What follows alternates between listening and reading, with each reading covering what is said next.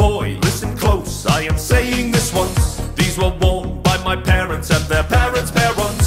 Now they're yours, but be sure to guard them with your life. He said, don't ever let them touch my clock.